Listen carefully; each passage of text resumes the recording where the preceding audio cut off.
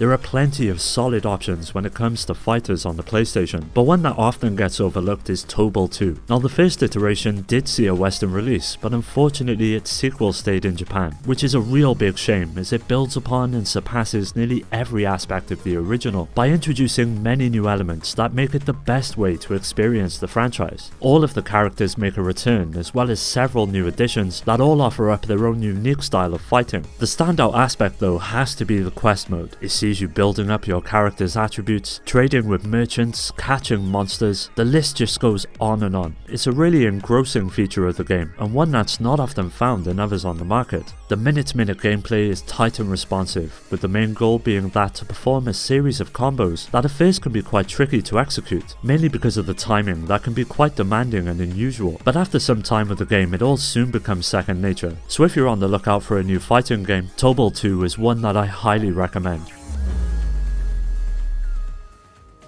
Nekketsu is essentially a side-scrolling beat-em-up that gives the player the option of playing one of three different characters. Naturally, each of them differ not only in appearance but in ability as well. From the fast and nimble to the slow-paced and more powerful, they each offer different ways to enjoy the game, so trying out each of them is a good idea to find one that suits you best. Now the control setup is extremely simple. You have a jump, basic attack and a super ability that sacrifices a portion of your life upon performing it, as well as a double jump, a dash and a throw that when combined provide a good amount of variety to beat down your enemies. As you would expect, a ton of items and temporary power-ups litter the battleground as well. Visually, the experience is nothing spectacular, but what stands out is the level design that borders on the bizarre at times. From the city streets to the insides of a whale, the developers clearly had a lot of fun designing the game and it really shows, right down to the enemies themselves which are just as peculiar. Overall, Nekketsu is a solid beat 'em up, and although it's not going to light the world on fire, it's still a blast to play and well and truly deserves the attention for anyone fond of the genre.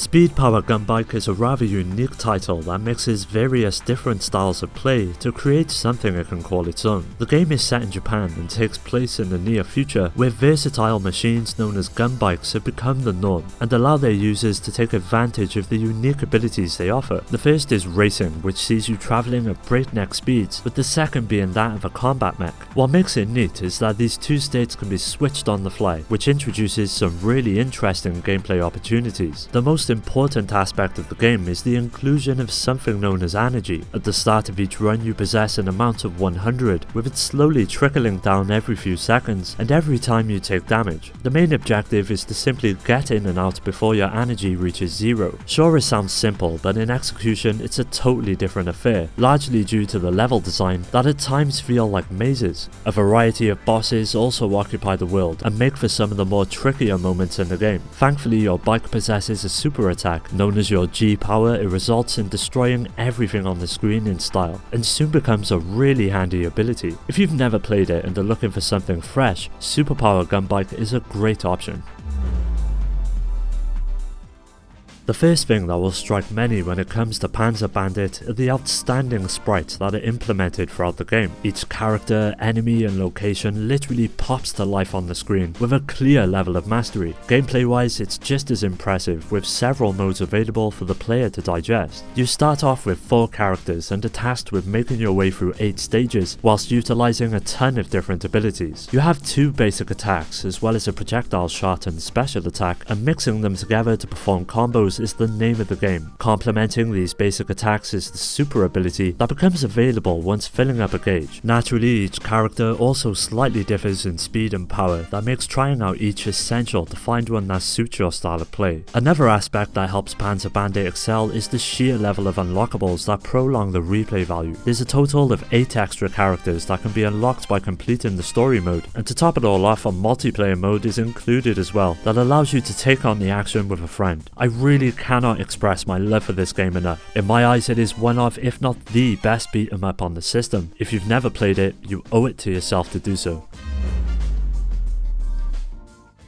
If there is one word that could describe Poppin' Tanks in a nutshell, it would have to be fun. The game literally oozes charm, but at the same time offers a serious amount of depth in its gameplay. It's essentially a one-on-one -on -one shooting game that pits a variety of tanks against each other, with the entire experience being split up into two separate modes, those being the story and something known as Tank World. But what makes Poppin' Tanks so good has to be the sheer level of customization that's afforded to the player. You initially start off with 8 tanks, with many more becoming available throughout the course of the game. Each of them can be tailored to your specific style of play, with over 300 separate parts to earn and choose from. Various short and long range weaponry makes the cut, as well as a slew of cosmetic items that really help bring a sense of personality to your creations. One inclusion that really helps the overall quality of the gameplay is how the camera is implemented during play. It automatically locks onto your opponent with the various obstacles that might obscure your view, automatically becoming transparent as to not disrupt the the on-screen action. It's a welcome inclusion that makes Poppin' Tanks all the more enjoyable to play. If you're looking for something to play with friends, Poppin' Tanks is the perfect answer.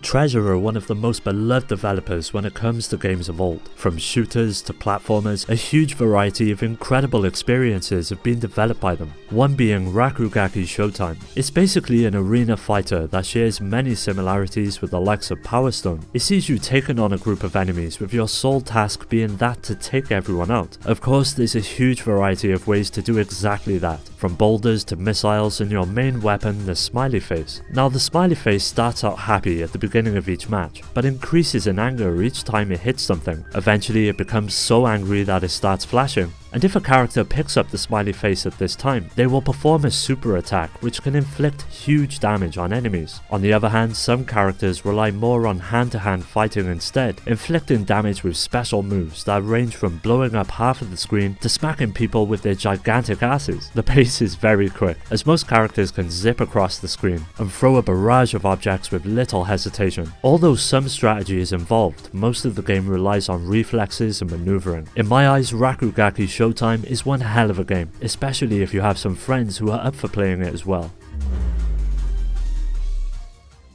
The PS1 was home to an impressive range of platformers, but one that seems to have all but been forgotten is the adventure of Little Ralph. It shares much in common with the likes of Castlevania and presents a weapon-based platformer with a lovable charm. You play as Ralph as you set out to free a damsel in distress, which is all a bit cliche if I'm honest, but when it comes to platformers, the story is never usually the standout aspect. As Ralph you possess a wide range of abilities that utilize your sword. You have a basic swing as well as a downward thrust and a special charge that can block block incoming projectiles. A selection of items also make the cut, from shields to several power-ups that adorn you with extra skills, such as longer reach and the ability to shoot fireballs. But it doesn't stop there, as Ralph is joined by his lovable companion Firio that can help you out in some real tight situations. Now if there's one aspect of the game which really stands out, it has to be the boss battles. They easily become the best part of the game and each offer an increasing level of challenge as you progress. The best part, they each take on an entirely new form form of play and turn the game into a sort of 2D fighter, which shares much in common with the likes of Street Fighter. There's only about 4 of these encounters throughout the adventure, but they manage to mix up the gameplay and add an extra layer of depth to the overall experience. The adventure of Ralph is an absolute marvel among old school 2D platformers, and more than deserves a playthrough by anyone who never got round to doing so.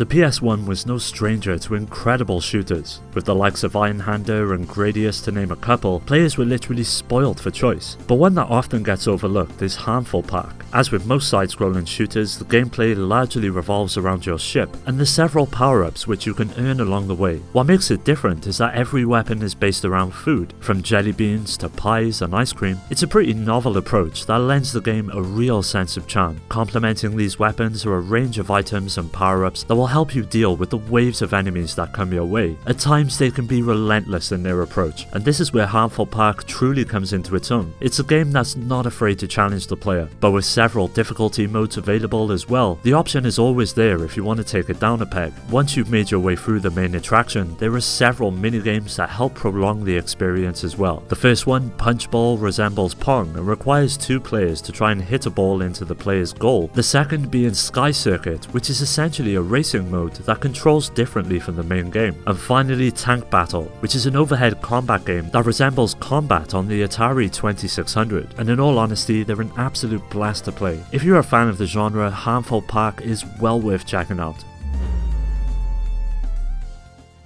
I've always been a huge fan of the Macross games and originally got into them on the PSP. It wasn't until recently that I learned of VF-X2 and it has soon become one of my favourites on the PlayStation 1. Now it's loosely based on the anime of the same name and sees players jumping into a wide range of impressive machines that have the ability to transform into several different states, those primarily being a fighter jet and incredibly powerful mechs. They grant you a wide selection of abilities in which to take on the mission based adventure. As you would expect each machine can be fully customized with a generous amount of weapon loadouts and visual touches that allow you to cater each to your specific style of play. May that be up close and personal or attacking from a distance, there are plenty of options that facilitate each way you can approach a mission. On top of this, several character specific abilities are included that manage to help out during the more intense situations you'll find yourself in. Out on the field, the controls are tight and responsive, allowing you to engage the enemy with confidence. And visually, the game is stunning and really shows shows what the PlayStation 1 was capable of when in the hands of the right developers. Each mission is unique and presents a variety of different locations to the player, from dense cities to sun-drenched beaches and nighttime flights, it just never gets old. So if this one passed you by, now would be the perfect time to jump in and give it a go for yourself.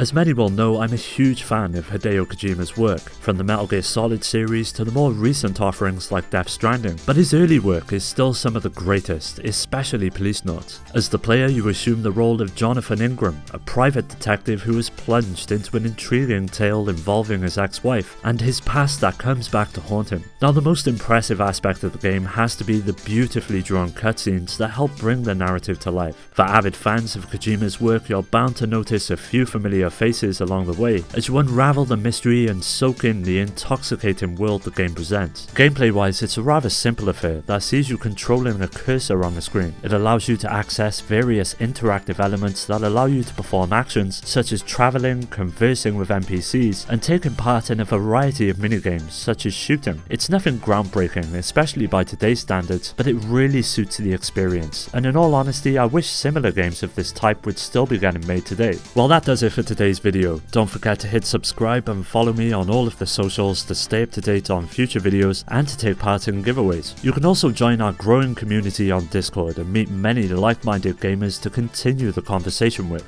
I'd also like to give a special shout out to our Patreon supporters, Rhino, Skill Jim, Nano, Steve and Paddy J for their continued support that helps make these videos possible. If you're interested in joining our Discord or supporting the channel through Patreon, you'll find the links in the description. As always, thanks for taking the time to watch the video, I'll catch you in the next one.